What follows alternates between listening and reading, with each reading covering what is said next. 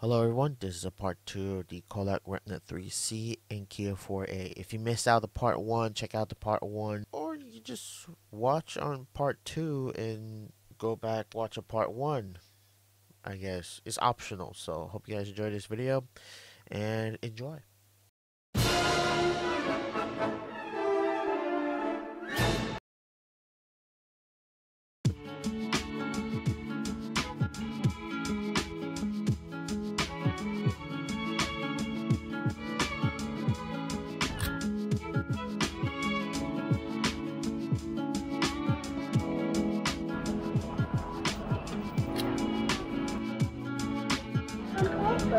Which thickens the soup and brings